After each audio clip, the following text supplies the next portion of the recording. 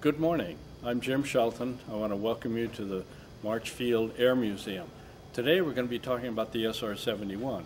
I was fortunate enough to have flown it for six years. I flew, started flying in August of 1968 through June of 1974, and I have over 911 hours in the aircraft. Now, one thing that makes this aircraft different than others, um, you're in this full pressure suit, so you don't do a pre-flight of the airplane. What happens is that we're in what's called Physiological Support Division, or short PSD, where we're having a high protein diet of steak and eggs, high protein, low residue. And while we're having our breakfast, the crew chief comes in, he brings the forms, he sits across the table from you, he looks you in the eye and describes the discrepancies from the previous flight and all the correction action he's taken. And he looks you right in the eye and said, the airplane's ready to go. So we have a good bond between crew members and maintenance because we trust what they do.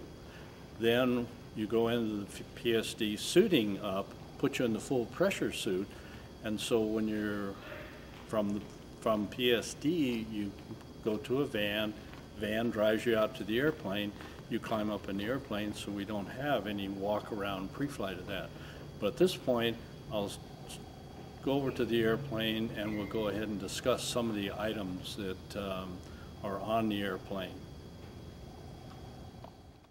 And uh, you get a notice here the, the pitot boom, the static pitot boom sticking out in front of the airplane. That has to be out here so that it gets the fresh air to go ahead and give us airspeed indication. It also tells the nav set how fast it's going. And there's a little jog on the side, which is called the alpha beta probe. And there's a little, little uh, two little uh, ports that are vertical and two are on the horizontal plane. The vertical one is the uh, alpha, tells the angle of attack, and the side ones tell you if you're in a side slip, the beta indication. That all feeds into the different computers. There's a navigation computer, there's the air inlet computer that helps drive the uh, inlets to get us out to the Mach 3. Because this airplane was designed to fly at three times the speed of sound. Also, that makes this a kind of unusual airplane. You get up here, this is composite material. There's a little metal along here, but up here is a composite material, and this is all this is all composite here. Now they have two different noses. There's a separation joint right at this particular spot. They can put a different nose on the airplane. This one happens to be just a blank nose, but they have a radar, aperture radar, that gives you almost perfect black and white pictures. So I knew when we flew over North Vietnam and the weather was bad, we were still picking up, uh, could identify the ships in Haiphong Harbor with the radar only. They also have a camera nose on here that is just what I call the garbage collector it goes from side to side for a thousand miles and just picks up everything in there. It's called the optical bar camera, but they make the different nose depending on what the mission is. As we go back further, this is still composite material on the airplane. You can kind of hear it because um, it's the first airplane that ever had any kind of stealth capability built into it. The radar signal on this airplane is smaller than an F-104, which is a very small airplane. Some of the other things it gives it a radar, and when you look back at the rudder there, you'll notice it leans in. The rudder tips in so that the radar signal doesn't bounce off of that. So it has, it's the first aircraft that had stealth capability um, built into it. But the composites go on down, and then you finally get into the section where the camera equipment and the other, um, they have cameras, they've got the capability for picking up electronic signals. We would do that around the periphery of China, find out where all the radars were located on China with that, it could go ahead and collect the radar signal and give you a good cut. When you talk about 35 miles a minute, you get a couple of minutes worth, you've gone 60 or 80 miles this way, it gives you a good cut to locate where that SAM radar site is. Then um, there's composite material all the way down the aircraft. Again, you can, you can hear this.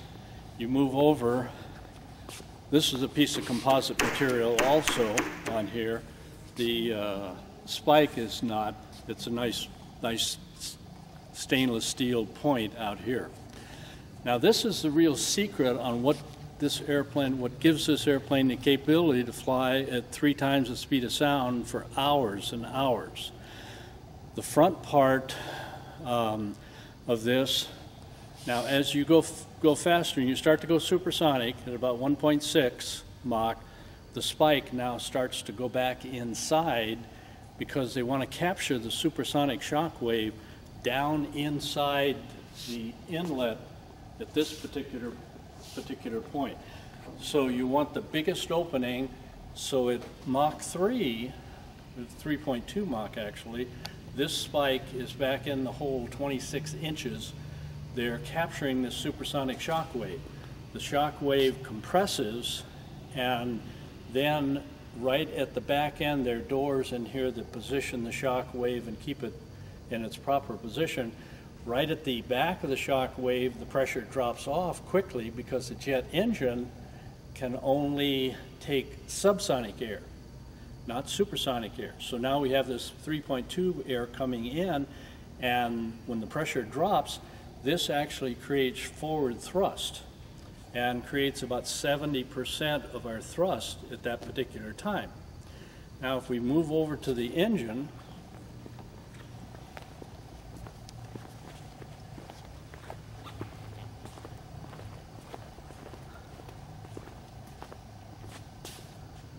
right, this is the face of, face of the engine. This is where the air has to be subsonic. And so when you're at Mach 3.2, the air gets in through the guide vanes, but now you'll notice there are these large tubes that go around the engine to take air from the front, transfer it right to the, to the afterburner of this engine, creating like a ramjet. So the ramjet aspects, this produce about 30%. The basic engine itself at Mach 3.2 is only putting out about 15% of the thrust when you're out there at Mach 3.2. The biggest part is the inlet. Then comes the bypass air going into the afterburner section back here, creating the ramjet effect. And uh, you can keep this engine in the afterburner position the whole time you're supersonic. This engine gets glowing red hot in the airplane. They've got some uh, pictures on, done on test stands with the engine where it's glowing red hot. Well, the same thing happens when it's inside the cowlings on this airplane.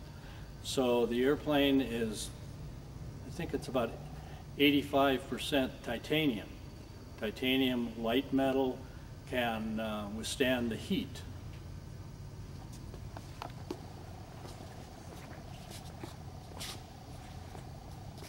Now the, the openings you see up at the top up here by the, by the numbers, that's where the bypass air that uh, the doors hold that supersonic shock wave in its proper position.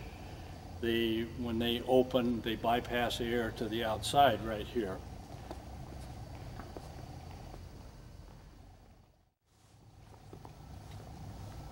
Let's talk a little bit about the, the tires. This is another unusual feature.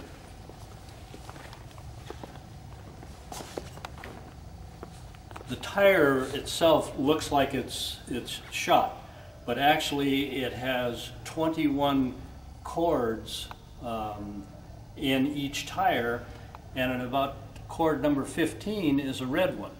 So once you see the red cord, the tire needs to be replaced. Because of the heat that's built up in this airplane, you can't have a very thick rubber tire like a KC-135 or the 747. What you have is many layers of cord and a little bit of rubber between each cord. Also inside there's a can. When the gear goes up this way, the tires are inside of a can, so if they overheat or were to um, blow there, it's not going to wipe out the hydraulic lines inside the wheel well. These tires are filled with nitrogen. In fact, there's no compressed air on the airplane at all. There's dry nitrogen is put in the tires, uh, maximum of 425 pounds of nitrogen in there.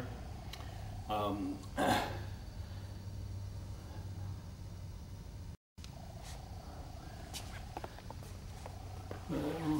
step over a little, little bit. Um, I'm beating on a fuel tank right now.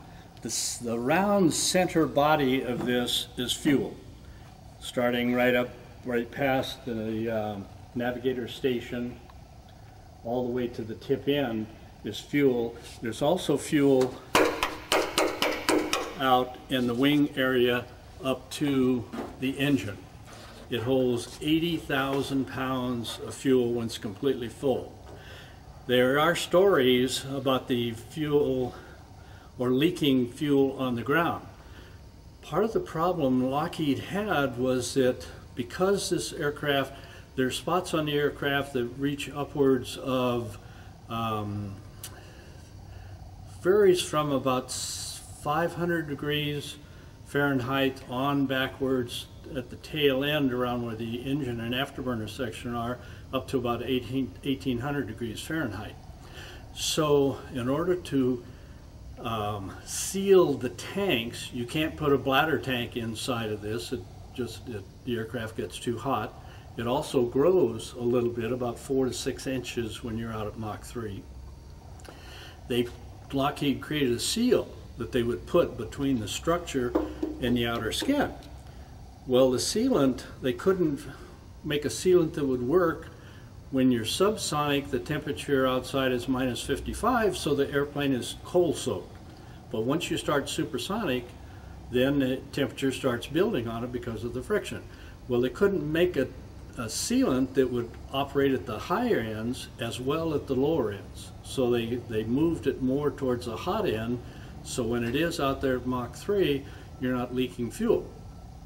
But when you get on the ground, it does leak a little bit.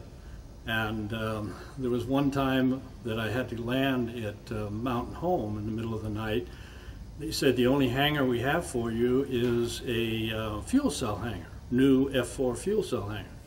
So I parked the airplane in there and the student and I, it was a trainer airplane, the student and I go to bed. The next morning the maintenance people are out there and uh, it was a generator problem. So they had to start an engine because they didn't know if it was the generator or the, con the connection between the generator and the engine. Well, the base commander is driving by and he's asking, what's that dripping off the airplane? And they said, oh, that's just fuel. And he said, well, wait a minute, that's fuel, and you're going to start this thing up. He said, not in my hangar, you're not. All he could think about was the hangar was going to burn down. So he made the maintenance men stop what they were doing get the airplane out, tow it out on the ramp, then start the engine because he just knew that this thing was going to blow up. However, it has special fuel, JP7 it's called, which has a very high flash point. You can take a blowtorch to it and it won't ignite it. So it's, it's from that standpoint, it's a safe fuel. And a little bit of fuel on the ground, um, the only problem it creates is it eats away the boots of the maintenance man. This is one of the, the camera bays along here. It's difficult to see, but right here is the, would be the opening for the window to go ahead where the camera can look down. And let's go over and take a look at the, the camera over here. This is quite a unique camera. It fits up in there. When you get around here, it's got a mirror on it. And this is the brain of the camera because keep in mind when you're traveling 3,100 feet per second, if you want to get a picture that's not blurred, you got to keep the camera pointed at the single spot. So the nav set provides the computer with the speed, or the camera with the speed, and this mirror then moves back and forth so ever slowly, whatever it takes, based on the airplane speed, to hold your view spot on the ground so you don't have a blurred picture. So as you're flying along taking pictures, this camera is going back and forth like this, holding your view right at the same spot on the ground as you're traveling along 3,100 feet per second. Well, it's quite a, a unique camera. And um, one time I saw kind of a gee whiz photo where um, a young boy was playing soccer in a field in North Vietnam, and I could see his leg was up and the ball had just come off of his leg, which was just kind of a gee whiz photo that they blew up to pass around to show people. The other time when I flew the Middle East mission, um, I saw the photos that the intelligence people were taking around briefing the different staff at the Pentagon because um, they were, Americans were required to um, replace lost equipment for the Egyptians during the 73 Yom Kippur War. Well, they would they used our photos then from this camera to go ahead and say, yeah, there's a there's a tank that's been destroyed because either they could you could see the black soot coming out from it, the track would be off, or the gun turret would be gone from it. So the intelligence people were going around counting the dead tanks and equipment because we were going to go ahead and replace those after the Yom Kippur War.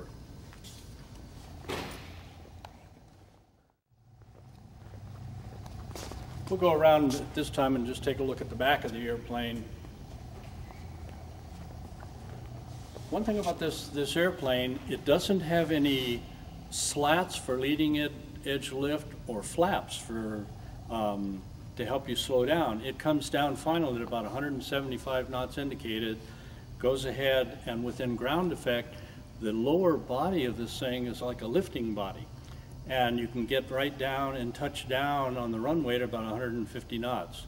Um, you can actually pull the power back if you have enough energy coming around down final. You could pull the power back to idle two or three miles away from the end of the runway and it will come down and make a nice smooth touchdown on the, on the runway.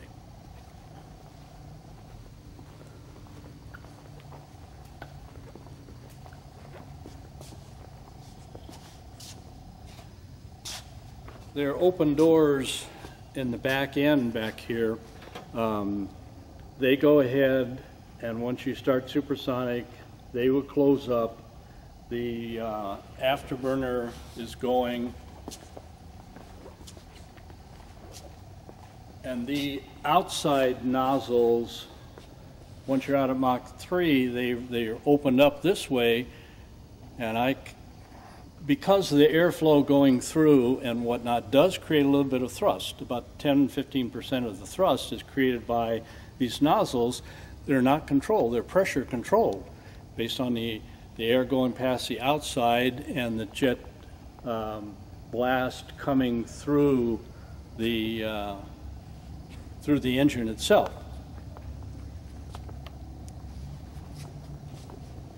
The back end of the airplane, there's a, a um, dump in case you need to um, land quickly because of emergency and you have too much fuel on board, you can go ahead and dump the fuel out the back end.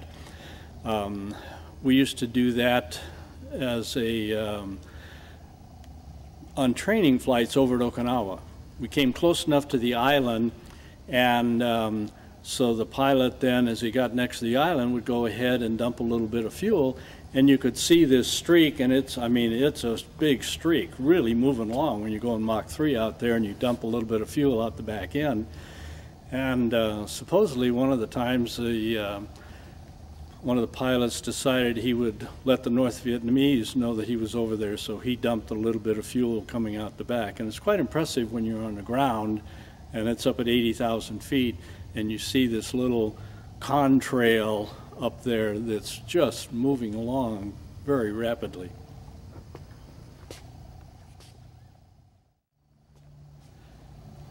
from back here, you can see that the rudders are tipped in. And like I say, when you're down on the ground and the radar is shooting up, you've got the wing out here and, and the rudder's tipped in, so it doesn't create a, a place for the radar signal to bounce off of. Where if it's perfectly ver vertical, it might stick up above and you get a little bit more radar return. So, like I say, this is the first airplane that, that was designed with any kind of stealth capability in mind, and that was one of the requirements for the airplane.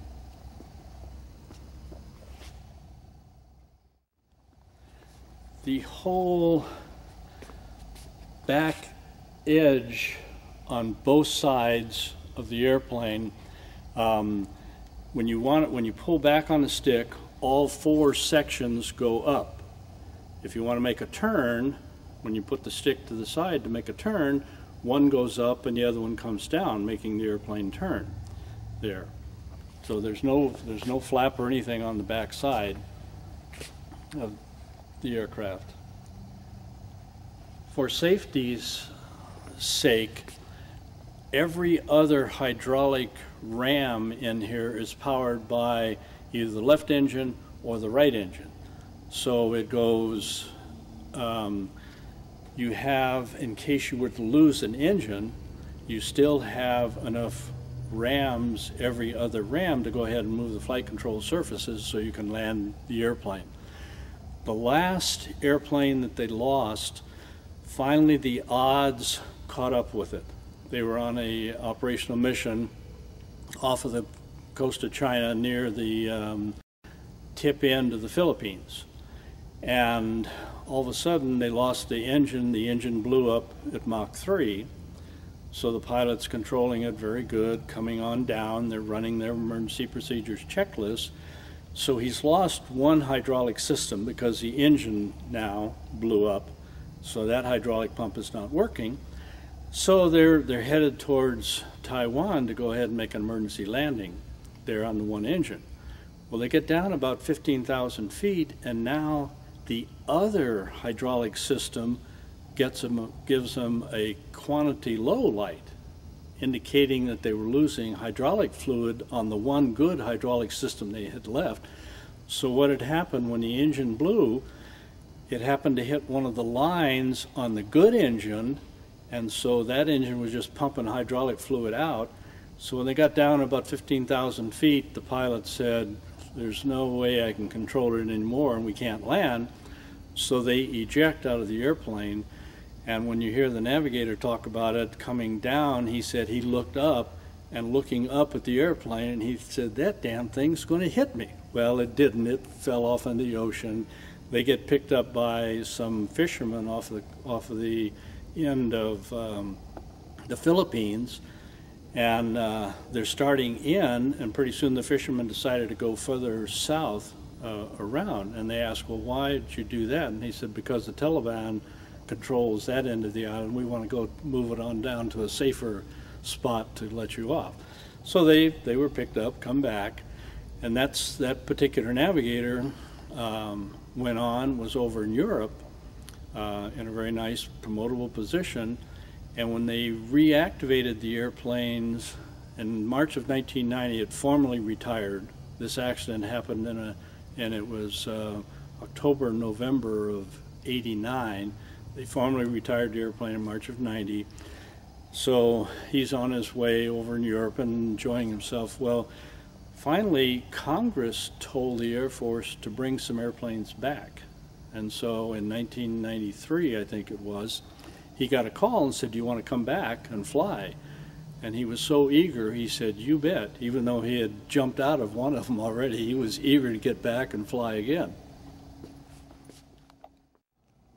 Okay, just back, right over here, you can barely see a window. That's for the star tracker that updates the nav set. The nav set is there. The next opening you see is the air refueling receptacle, where we'll come up under a KC-135, and then the boomer inserts the boom at that particular point. Um, we do get the nose of the airplane just up under the KC-135. And we did have an accident for some reason, um, but he was up underneath the um, KC-135, and some sporadic input to his control surface pitched the airplane up. It knocked the nose off of the airplane. It hit the elevator on the KC-135, and all Buddy remembers was that the instrument panel was crushing end around him. He ejected. He ended up breaking both ankles. His back seater ejected, so they came out. They came out fine. It scared the devil out of the tanker pilot because he said he had his hands on the control wheel itself, but it knocked it when Buddy's airplane hit his elevator. It had such great force it knocked the flight control wheel out of his hands. Uh, but the tanker came back fine, but had a great big dent in the uh, elevator where he had lost it. When you look down, you'll see some kind of ripples in the top part of the wing down here. Those are more for heat expansion. As this thing expands, it grows, as the engineers calculated, about three to four inches, and also in length, but a couple of inches in width. So that helps take care of the expansion in it. Inside, the fuel lines all have bellows in it to go ahead and take care of this expansion and contraction due to the heat of the airplane.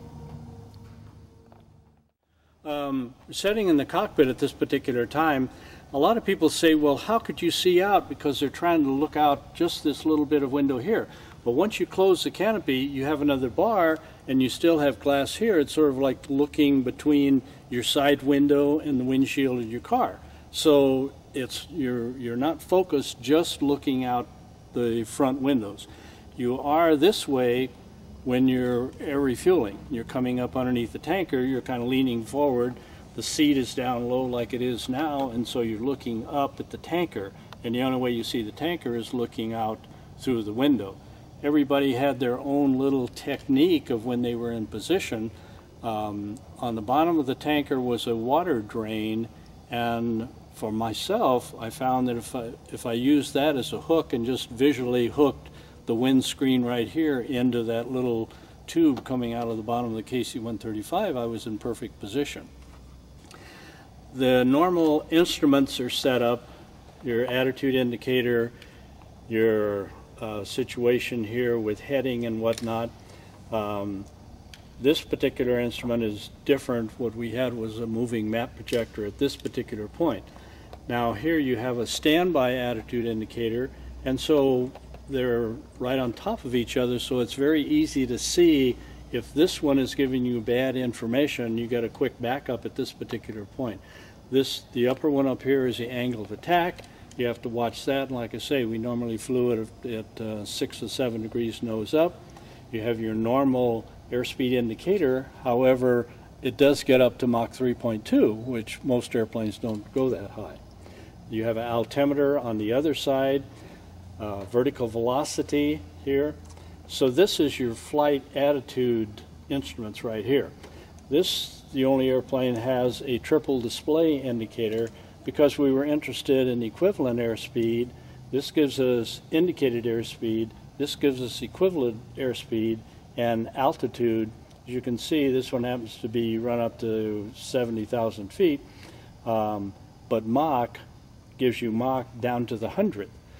I remember on a training mission, it was a 10 and a half hour training mission, I was told to fly at Mach 3. Well, at Mach 3.01, I'd make a power change. At 2.99, I'd make another power change. Well, I was chasing that so much, trying to keep it exactly at Mach 3.0, that I wore myself out in 10 and a half hours. So when they asked me to do the 11, 11 hour and 20 minute mission, I said, I'm going to have to pace myself. Well, at that particular time, I didn't chase it. If it got up to finally 3.05, I'd make a power change. If it dropped down to 2.95, then I'd push the power up a little bit instead of trying to chase it at Mach 3. On the right hand side, you've got your normal engine instruments uh, RPM, exhaust gas temperature, You've got two fire lights in case you do have some kind of an engine fire. These would come out red. Then you've got your um, nozzle, engine nozzle positions here. Then you've got fuel flow and oil pressure. So these are standard instruments for any airplane. You have your hydraulic pressure. We've got uh, the um, hydraulics number one system and number two system. You move on over, and this is the fuel. It'll hold a total of 80,000 pounds of fuel. Uh, you've got a center of gravity indicator here. You've got um, the different fuel tanks, um, fuel tank uh, pressure here. Um, the liquid nitrogen now, didn't talk about liquid nitrogen, but as the fuel goes down in a tank, and you're out there at Mach 3 and the airplane is so hot, you don't want to have oxygen in your tank as you're coming down because it could create an explosion. So we have liquid nitrogen dewars on board. There's 200 gallon liquid nitrogen dewars on board that pump nitrogen in as the gas goes down in the tank, then nitrogen fills that void.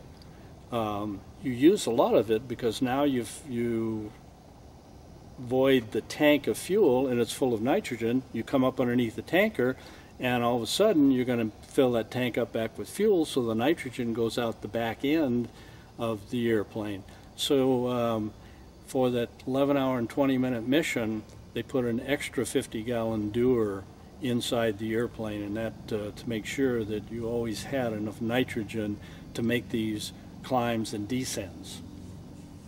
Then you have um, you can turn on the different fuel pumps. It sequences automatically, but in case uh, the center of gravity starts to get off a little bit, um, and you kind of want to check your tanks, you can go ahead and activate a tank. Now, any aircraft, as you change speeds, the center of gravity, when I'm talking about supersonic aircraft, um, the center of gravity changes. So the center of gravity moves aft as we go supersonic, but as we get ready to come down, we've got to get the center of gravity forward. So there's a, uh, a switch down here. It's a, it's a spring-loaded switch that you hold your finger on will transfer fuel from the back end of the airplane to the front of the airplane, getting ready for landing. Over here we've got um, battery, we've got emergency fuel dump. Notice it's got a red guard, car, red guard over it because you don't want to go around dumping your fuel out. Um, you've got generators down here. Now we move to the other side, and I talked about inlet being very important since it's a thrust creator. Um, normally works automatically. We have a spike indicator here. We've got door opening here. Um, and here then we've got manual controls. If the automatic feature does not work, we can control the spike manually. And these are based, based on basically the Mach. As you go up, see it starts out at 1, 1.4, it starts, but at 1.6, when the, mic, the spike starts going back, you can go ahead and control it, manually control it on up to 3.2. Then you also have the doors there. You can position the doors. You're not going to get as efficient uh, use using manual switches, but you can fly the airplane because if something happened and you, you're still over the denied area, you don't want to slow up to subsonic speed because then the bad guys will shoot you down. But you can go ahead and control, and so this will get you a rough setting in there um, so that you can go ahead and leave the area. Once you get out of the area, then you're uh, then you could go ahead and slow down and talk about possibly landing someplace. Um, down on the center section, now these are all warning lights. Um, basically right engine, left engine, and general uh, indications here.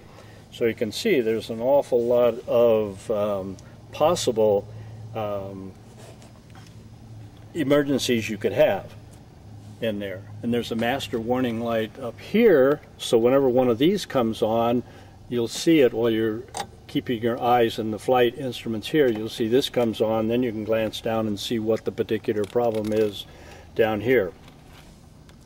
Uh, gear handle over to the left, the drag chute handle here. Um, it's electrically controlled. You just reach up, pull it, pull it this way, and then when you're on the runway and before, since the drag chute compartment is well before the back end of the airplane, you want to get uh, jettison the chute while you've got at least 50 knots so that the the metal hasp will clear the airplane. Then you just you turn it and it jettisons it.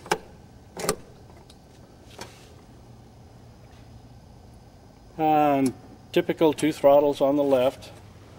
It was nice. I had one time I was in the B40 in the B40 B47 program and I had to learn to fly again because I came from the F86 which is stick between your leg and a throttle at the left.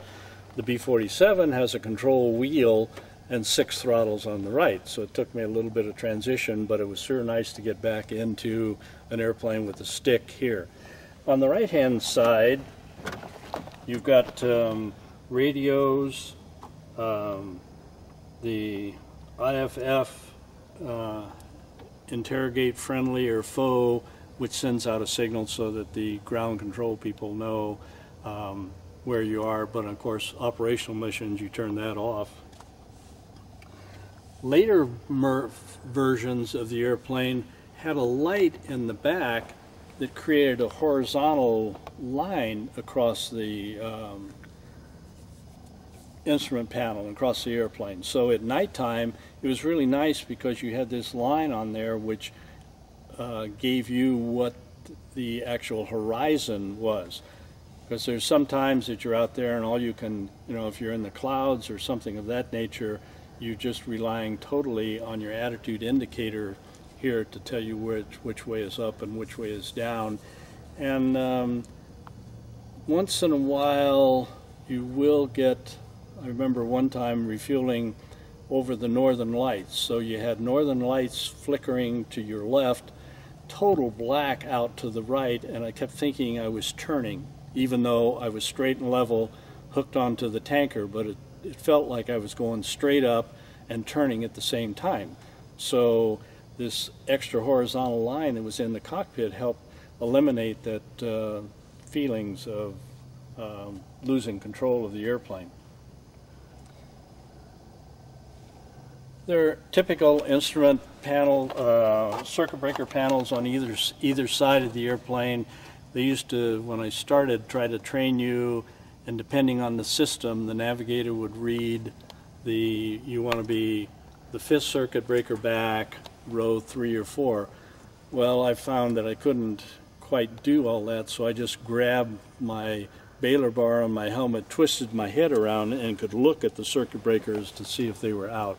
There's circuit breakers on either either side there.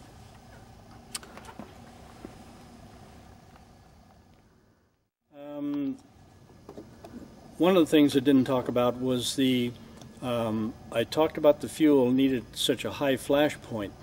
Well, um, they use triethylborane, which when it hits oxygen or air, it creates a very high flash at that particular point. Each engine has 16 shots. There's a little indicator down here by the throttle. So one shot starts the engine. When you want to light the afterburner is a second shot. Then any any other time if the afterburner blows out, it's another shot. So you have 16 shots. So you have to uh, you can't waste them on long missions because every time you come down, and that 11 hour and 20 minute mission, there were six refuelings. So that was six times I had to start the afterburner, relight the afterburner. So that was six shots. uh, one shot on takeoff would be seven starting up would be eight. So, you know, I'd already used half of them, and then if you had any kind of engine problems and the afterburner blew out, you would have you would have used uh, more. So you have to worry about the limitation on your tab. You had to use that judiciously. Now, this airplane, typical stick, transmit. You want to transmit um, nose wheel steering button, but what makes this one different is the fact that when you're Mach 3 and you lose an engine, there's a terrific, terrific amount of yaw put in there. Most airplanes have pitch and roll, up and down for pitch, side to side for roll. This one has yaw. So if you lose that engine, you push on the rudder pedal and you go ahead and get as much help as you can by uh, pushing on the button up at this particular point.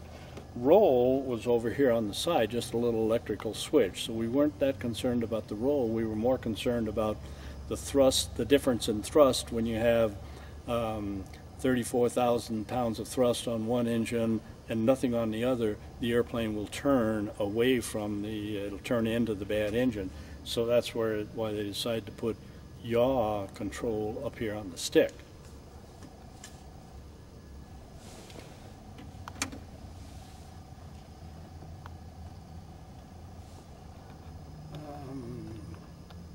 Um, I talked about that 11 and a half or 11 hour and 20 minute mission over the Middle East. Um, it started out, we were to go from Beale Air Force Base up through refuel in Canada, refuel in Portugal, go through the Mediterranean, refuel by the island of Crete, go down to Suez, uh, continuing around, make a right 270 degree turn around Cairo, come back across the uh, the battle area on the Israeli and Egyptian side there, and then go back and uh, refuel at Crete, and then recover in England. It was going to be an eight and a half hour mission. Well, they send the maintenance crew um, to go ahead and recover the, the aircraft in England. Well, once the maintenance crew landed, the British said, You can't recover here. We rely so heavily on Middle East oil, we don't want to get uh, accused of supporting your mission in any way, so you can't recover here. So they canceled the mission that night. We're in, we're in there getting the final briefing, and we canceled the, they canceled the mission. They said, well, go home. Come back the next day, and we'll see what they're going to do. Well, it just so happened that um, at uh, Griffiss Air Force Base in Rome, New York, happened to have a tank car of our JP7 on the on the siding there, because the um, Palmdale test airplane was going to come up in another week and do some flying out of there for a while, doing some kind of electronic checking that they were going to do. And there was also a Lockheed recovery team there. Um, so the um, Reconnaissance Center asked SAC, can you fly from Rome, New York, through the Middle East back to Rome, New York? And so instead of an eight and a half hour mission, it went to 11 hours and 20 minutes.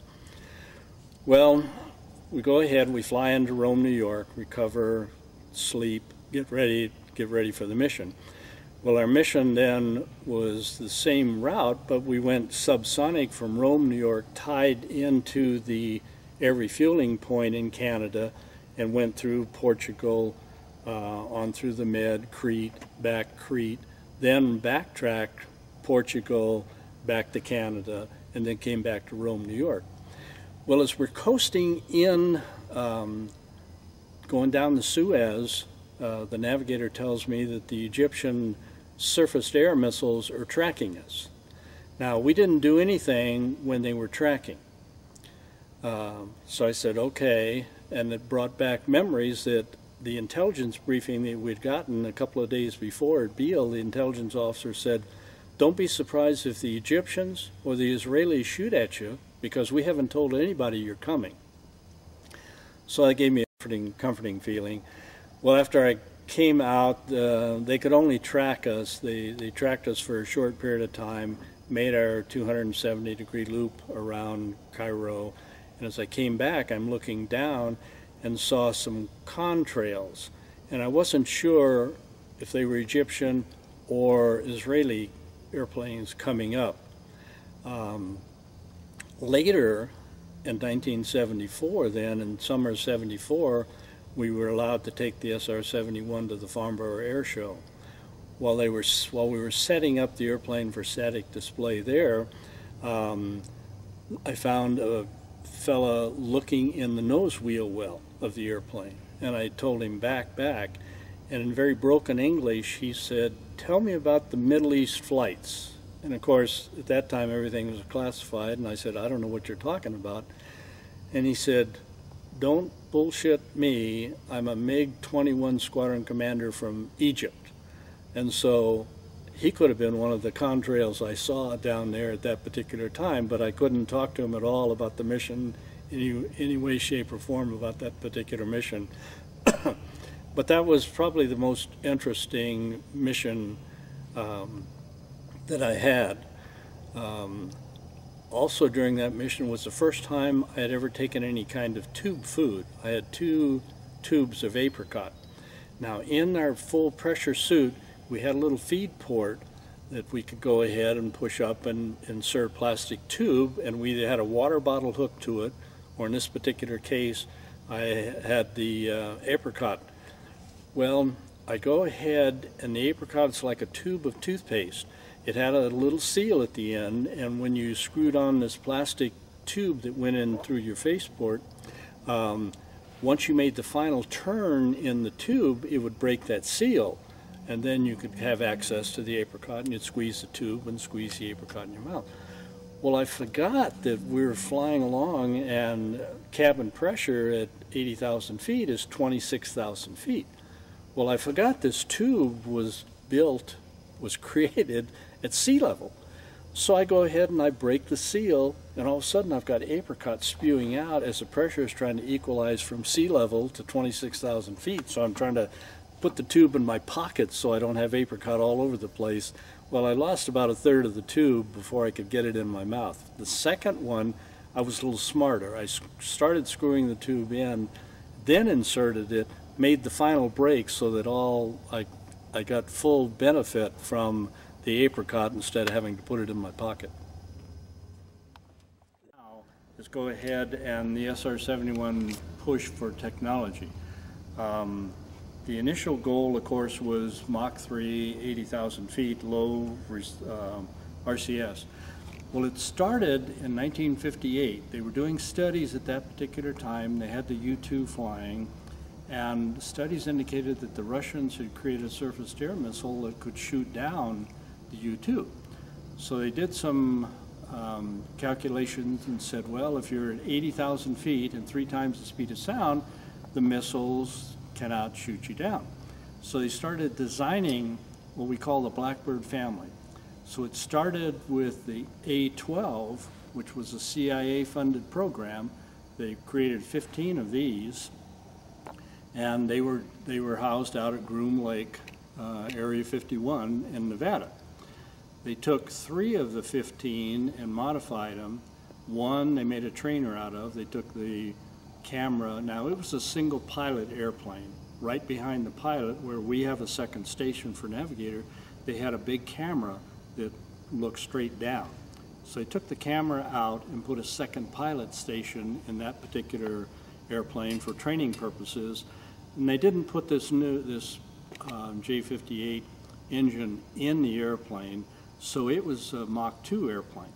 It's currently on static display uh, at the Science Museum here in Los Angeles. Then they took two others and modified, took the camera out and put a drone operator station in it and mounted a D-21 drone on top.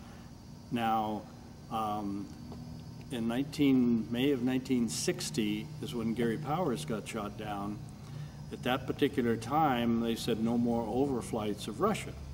But they were going to use the drone to go ahead and go over, fly the drone over China. They needed it on top of the SR-7 or the A-12 because it was a ramjet engine and it needed to be up to about 2.8 Mach before the engine would start.